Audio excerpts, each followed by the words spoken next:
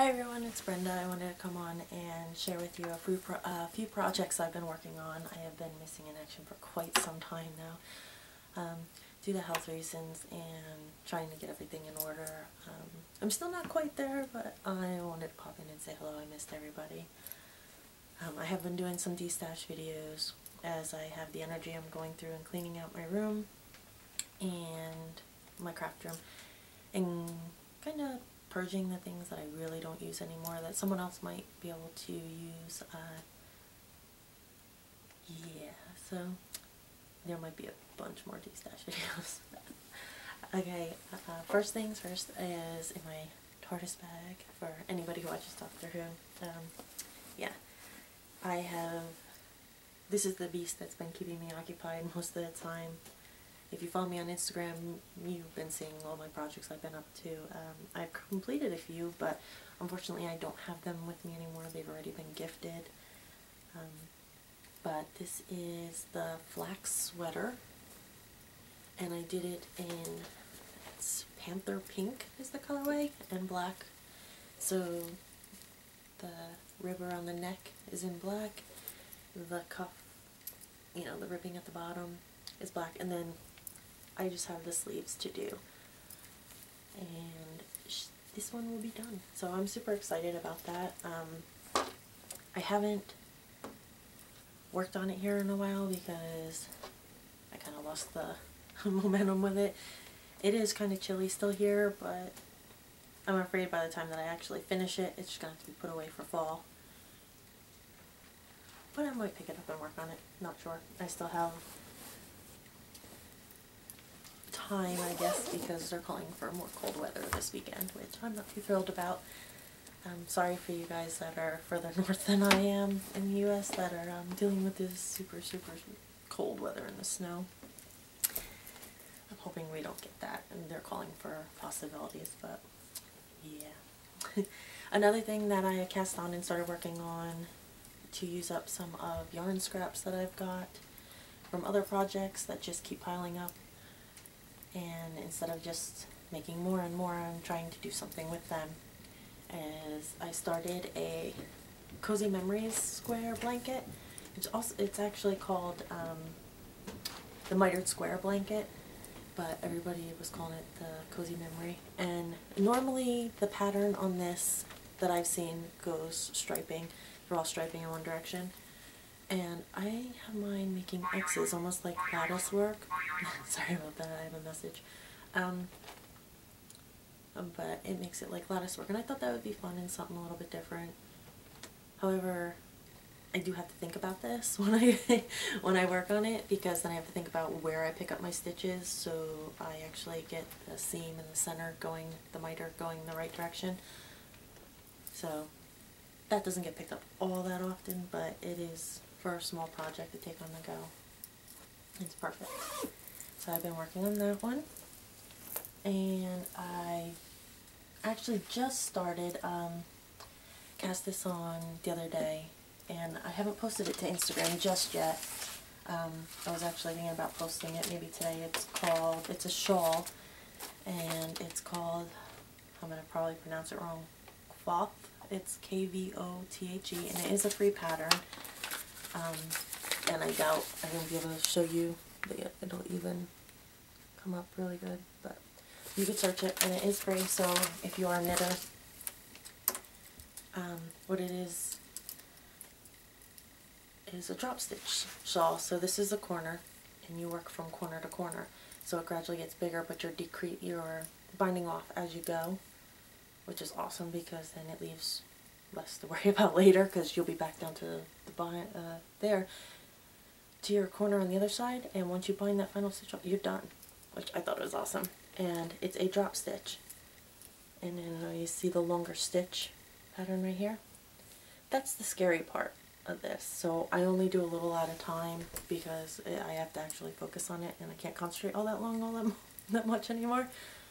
But what you do is once you get to a, section that's like that, um, that has the yarn over, which actually makes a knit stitch, you want to go and after you purl the top, you actually drop that stitch and then all the stitches underneath in that row unravel to the very end where there's one stitch that stops it. So it's kind of scary, so if you messed up somewhere along the way, it'll just unravel. So yeah, I want to take my time with this one, but I really do love the colors. They're nice springy colors, nice pastels. And it is a super thin yarn. Let's see if I can show you. And it is held double. And it is a huge ball. I actually have a bunch of these. Um, so I might make this rather large. We'll see. So that's another long-term project. And let's see. In here, I have another blanket I have going because I'm not satisfied with just one, you know. I needed another scrappy blanket because I noticed that I didn't really want to put like 10 of one color square in my Cozy Memories blanket. So what I did was I took a bunch of my scrap yarns that I, I already have sectioned off for the squares and I roll them into a huge ball and Russian, uh, Russian joining the yarn. And you can search that on YouTube to find out how to do it. It's really simple. So this way I don't have to attach yarn as I go.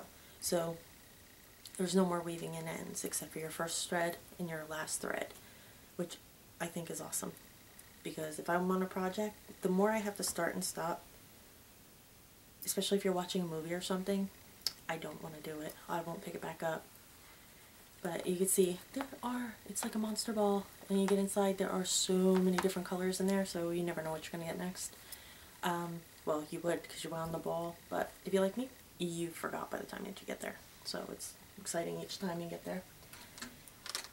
And it's the 10 stitch blanket and you just work until you just keep going around and around and around until you get to the length you want. You start with 10 stitches here and you go up, you turn your corner, 10 stitches. You know, it's only 10 stitches on needle at a time. It's super easy pattern. It's garter with short row turns, which is awesome. So it's quick and it'll be nice, sturdy, soft blanket. Um, of all your scraps so you can number all the projects that you've worked on. And I think I'm pretty set up for that one. I have her as another ball, and this is, my husband's joking, it's an egg, because, I mean, you can see that it's huge. and it is pretty heavy, too. Um, but I'm set up to work on that if I ever need to just sit down and kind of relax, because it's not a really hard one to um, focus on to work on. The turning the corner is the most intricate it gets and it's really not, not bad at all. And then the last project that I'm working on is something I just uh, casted on and I didn't post to Instagram yet either, I don't think. It may have at this point by the time I show it, but I, I'm not sure. Um, and it's using the Wolfie, Wolfrey Sock Stripes yarn. And this is the Rainforest colorway and it's 93% acrylic and 7% PBT which is um, another form of nylon so it has stretch. Um, so it's perfect for socks so of course that's what I did. I cast on a sock. Um, I'm doing one at a time this time. I don't feel like I'll have second sock syndrome so I think it'll be okay. And I am just starting the second repeat of the yarn. This one has quite a few repeats. It's got the green, the black, like a teal, speckles, uh, another black, and then another teal speckle, black, and then the green, and then this really nice caramely color with um, the black speckles, and then more of the teal, and then it keeps repeating with the blue, and then the brown, and then just got back to the green, so I'll be going to black soon. And these I'm making for my daughter, which she's already expressed how much she loves. So these don't get a whole lot of work, um, but I work on them daily. I do a couple rows. If I sit down and work on them, I can get I can get them done pretty quick. But I am trying to limit myself to get some other things done uh, around the house and also with um, our family reunion coming up, I have a few items I'm going to make for that because we do a raffle every year. And I also have another video um, that I want to make, so I'm trying to get everything prepped for that. So yeah, I've been kind of busy, but it's been fun. I just want to come on and share with you guys. Oh, another thing I'm doing, uh, you can follow me on Instagram. The name is, uh, oh gosh. Alright, it's either Little Raven or Little Raven 1. Um, I actually have it linked um, in my About section, so you can find me there. There's all different places, so you want to see me other places on the web, check out my About page. I am most act active on Instagram, so if you want to keep up with me, that's the best way to do it. And there's something else I was going to talk about. I can't remember. Hmm. Let's see. Oh, I'm doing a drawing challenge right now with um, my daughter and my husband and my sister. Um, I'm sure there's other people online that might be doing it or have done it. Um, it's actually a Pokemon drawing challenge. So we're on another day and I post all my sketches on Instagram. So if you're interested in that, check it out. Love to see you guys there. I hope you have a wonderful day and a wonderful week and I'll see you guys in the next one. Bye.